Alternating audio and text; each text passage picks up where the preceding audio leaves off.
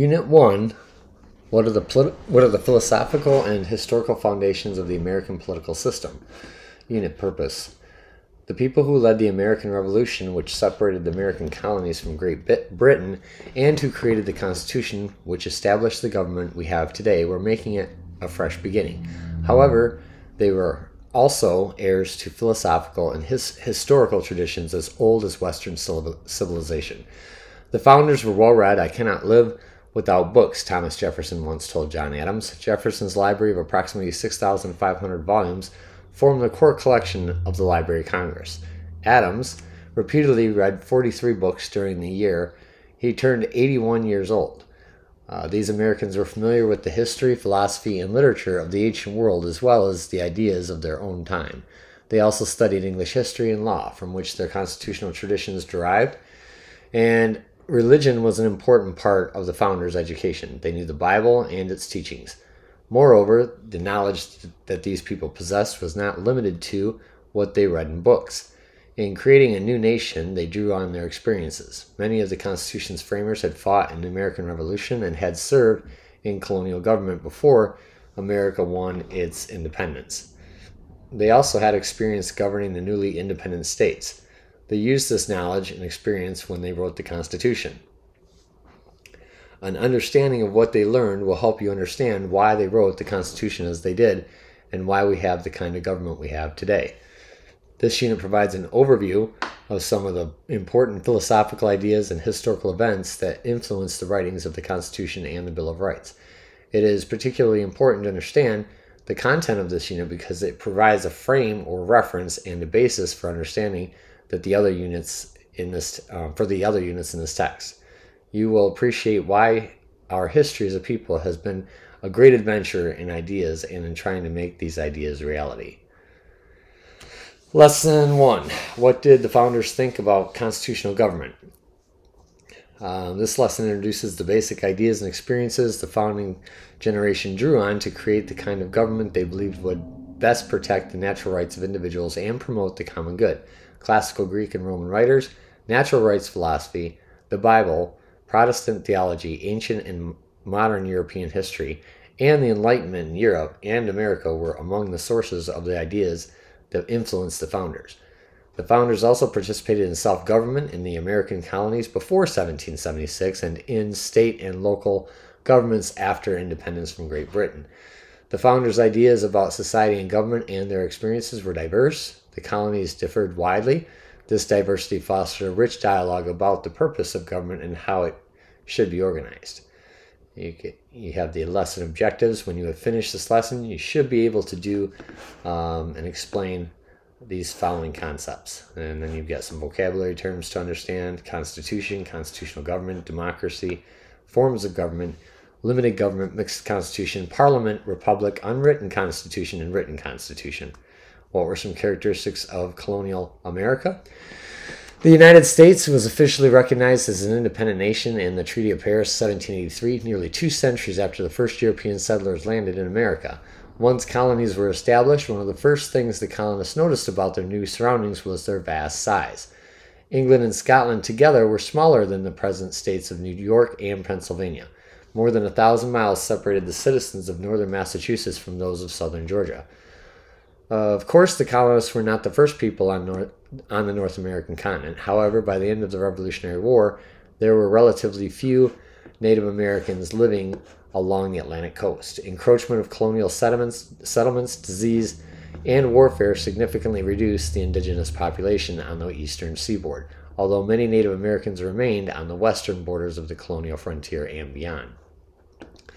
More than physical distance separated the colonists, their backgrounds were diverse. Some, such as Puritans in Massachusetts and the Quakers in Pennsylvania, came to the New World for religious reasons. Others came for economic reasons. They also differed in social structure and sometimes even language. Pennsylvania, for example, had a large German speaking population. French and Dutch were important languages in other colonies. A few influential families dominated South Carolina, Maryland, and New York. They owned vast estates intended to replicate European culture and habits as much as they could. By contrast, New England and Georgia had few large estates and partly as a result had different social and political cultures than those found elsewhere. Most of the colonies also had established or official government religions. Slavery was practiced in all 13 colonies. Almost all colonial Americans lived and worked on farms in rural communities, but farming meant different things in different places. In South Carolina's coastal region, farming meant using slaves to work plantations that produced rice and indigo for export, mostly to England.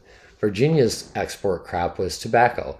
By contrast, farming in New England meant growing crops and raising livestock for a local market. New England farmers uh, relied less on slaves for labor than did Southern colonists, but the New England workforce included thousands of indentured servants, many of whom had entered into work contracts in exchange for transportation to America, food and shelter, or training in various skills. Colonists who did not work on farms followed various trades, working as sailors, shoemakers, silversmiths, and a host of other occupations. Many dabbled in a favorite American pastime, speculating on land. In many ways, colonial America was a society of traditions in which people played social roles and exercised authority in long established ways, but more than 300,000 people in 1760 were enslaved. These people, or their ancestors, had been transported to North America as captives from Africa. Later lessons will examine the effect of slavery on American constitutional government and culture. Indeed, the British colonies developed a number of different ways of organizing local governments during the century or more of their existence. Next section is how did the founders learn about American government? What did the founders learn about government? And we're going to pause there, and you'll want to look back over your, your study guide at this point and see which questions we have answered this far um, in the reading. The founders learned about government from reading history and philosophy and their own experience of self government as colonists with the British Empire.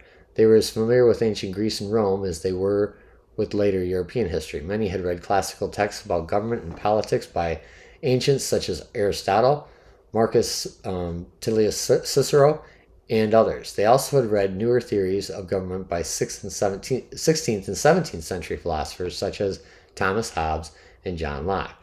By the 1770s, some were familiar with the English jurist William Blackstone's explanations of English law published between 1765 and 1769. Almost all were well read in Protestant theology. The founders looked to many examples of good and bad government for guidance. By 1776, Americans also could look back on more than 150 years of experience in self um, in local self government. Free white men from all walks of life had served on juries, attended town meetings, and voted in local elections. In fact, in the colonies and the early states, more Americans participated in self government than did people almost anywhere else in the world. Not all the sources that influenced the founders taught the same lessons. Some sources contradicted others. Some did not teach clear lessons at all. For example, classical ancient political philosophers taught that human beings are naturally social creatures with obligations to each other and to their community, without which they could neither survive nor achieve human existence. To Greek philosophers such as Plato, those who govern must be wise. All the classical philosophers agreed that one purpose of government is to help people learn about and perform their civic and moral duties. Greek and Roman history taught that all that although democracies may appear to begin well, they tend to end in tyranny when the poor attack the rich. Class warfare breeds chronic disorder. The people then submit to tyrants who enter the scene promising security. Natural rights theorists taught that people have, have natural rights that others must respect. English philosopher John Locke summarized them as rights to life, liberty, and uh, uh, state. People agree to form a society and create government to protect their rights. The book is correct here, uh, but it's off in that estate is property, but John Locke um, was said he he said life, liberty, and property. Thomas Jefferson would later amend um, John Locke by changing property to pursuit of happiness, and that's what we have to this day in the preamble to the Constitution. British history showed that even monarchy, a monarchy, might evolve into free government. If the people are determined, they can ensure that monarchs respect the rights that the people have gained over time. American colonial history showed that local self government could coexist with a distant central authority, in this case, Britain. However, American colonial history also showed that when people believe that the central government is abusing its power, then social and political unrest follows. The founders had many examples of government to choose from in designing their state constitutions and the U.S. Constitution. Why did they make the choices they made? From reading their explanations in documents such as the Virginia Declaration of Rights, the Declaration of Independence, and various pamphlets, essays, and letters, it is clear that the founders had learned at least two important lessons about government. Government should be the servant, not the master of the people. A fundamental higher law or constitution should limit government. What forms of government could the founders choose from? The founders were familiar with the writings of Greek philosopher Aristotle, who observed that every state, meaning country or national entity in this sense, must perform three functions. First, states must deliberate, deliberate about what it is to be done and decide what public policy should be. Today we call this the legislative function, deliberating, deliberating on and enacting law. Second, states must perform an executive function through which public officials carry out public policy. And third, states must carry out a judicial function through which disputes about the inter interpretation of law are managed and applied in everyday life. Aristotle also distinguished between types of governments on the basis of the number, number of persons exercising power. Countries may be governed by one person, a few people, or many people. Each of these three forms of government has a right form and a corrupt form. Right forms are governed for the common good, whereas corrupt forms are governed for the private interests of the rulers. The right form of government by a single person is called a monarchy. The right form of government by a few people is called an aristocracy, or the rule of the best. And the right form of government by many people is called polity. Aristotle referred to polity as a mixed form of government or mixed constitution because it incorporates elements of democracy and oligarchy, which is in the next paragraph. No group of citizens, for example, the rich or the poor, is able to abuse political power, although a polity is a mixture of social elements. It is most like it is most like democracy as we define the concept today. According to Aristotle, corrupt forms of government are tyranny, for rule of a single person, oligarchy for rule of a few, usually rich people, and democracy for rule of the many, by which he meant the poor. The following table illustrates right and corrupt forms of government as identified by Aristotle. To Aristotle, democracy meant direct democracy, in which the people themselves make decisions rather than the type of government we call democracy today, which is largely representative. Aristotle's description of democracy as a corrupt form of government refers to what ancient Greece experienced when the poor, or the many, took power. They attempted to seize the property of the rich for themselves, setting off a destructive civil war. Uh, civil wars based on social class. In such cases, the poor looked after only their own interests to the exclusion of the common good. And if you take a moment and look at that table, this is a good place to stop.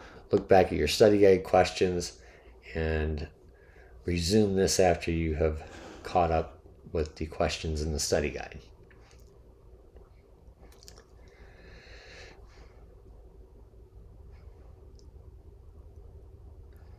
Although Aristotle classified the government of countries on the basis of their number of rulers, he also focused on economic considerations within countries, which usually are far more important.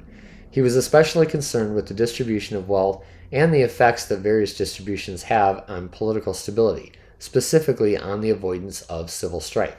He concluded that the dominant group of most stable countries consists of those who are neither rich nor poor, but occupy a middle ground of moderate wealth.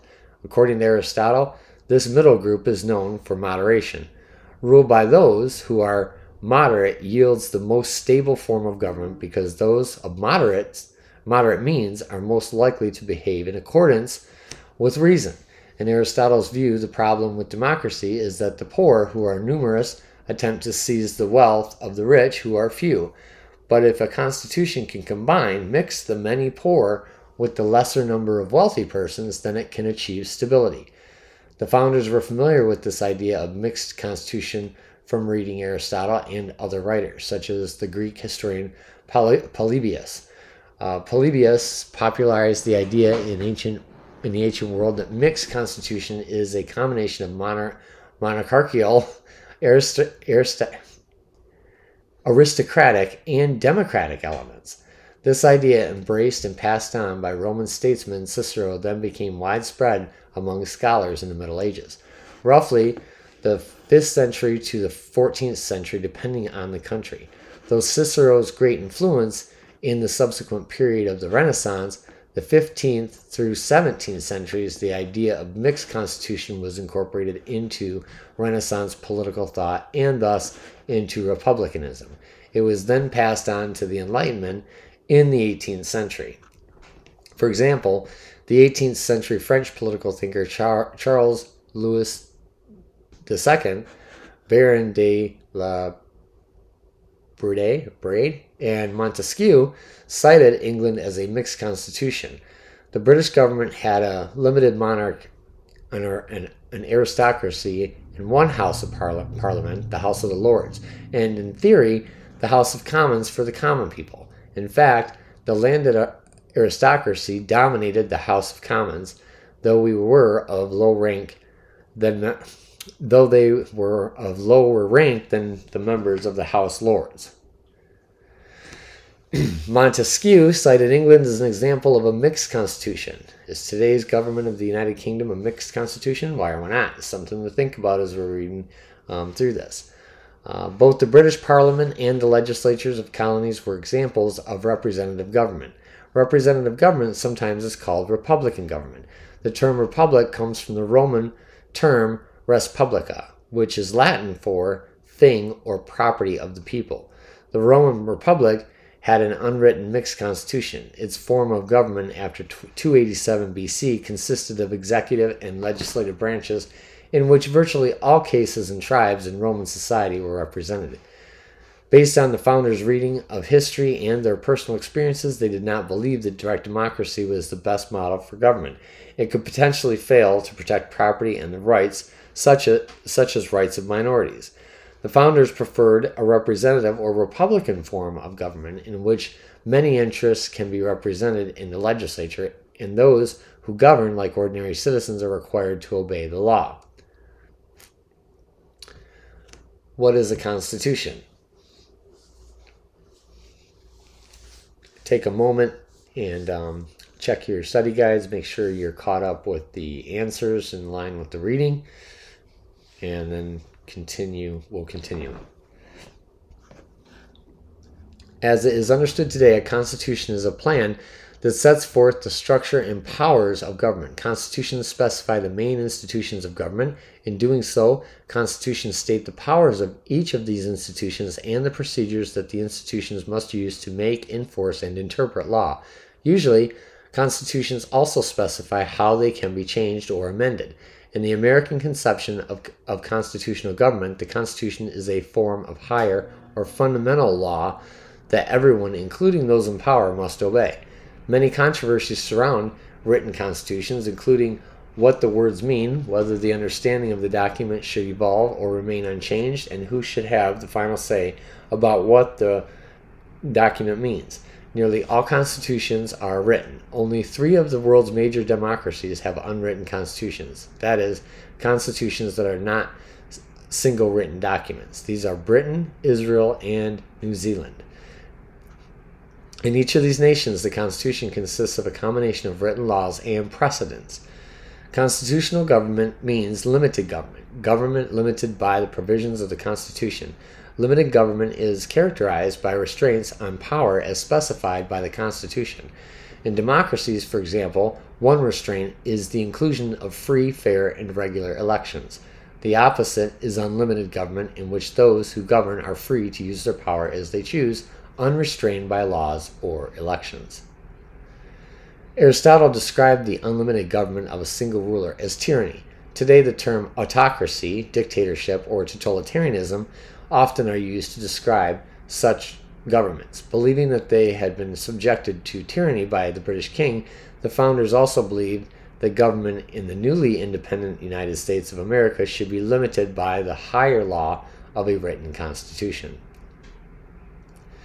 How did the founders characterize higher law? According to the founding generation, a constitution should function as a type of higher law. A higher law differs from a law enacted by a legislature in these four ways. It sets forth the basic rights of citizens, it establishes the responsibility of the government to protect those rights, it establishes limitations on how those in government may use their power with regard to citizens' rights and responsibilities, the distribution of resources, and the control or management of conflict. It can be changed only with the consent of the citizens and according to established and well known procedures. We have critical thinking, another question How might a government be organized to, pre- to prevent leaders from gaining unlimited power? That's still more the critical thinking exercise.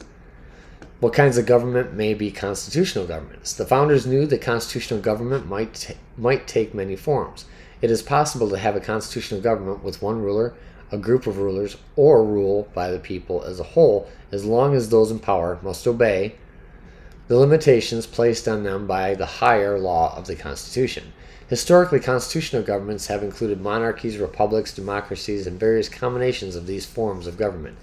The problem for any constitutional government is to ensure that those in power obey constitutional limits.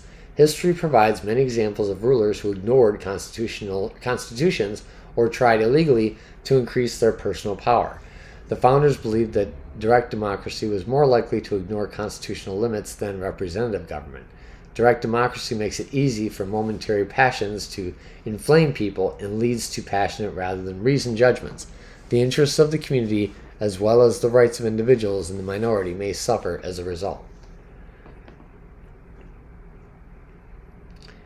We have some um, critical thinking questions and um, some questions that will uh, make sure that you are understanding the lesson and um, they would be good for review. Make sure you've completed all of your study guide questions, and that concludes this lesson.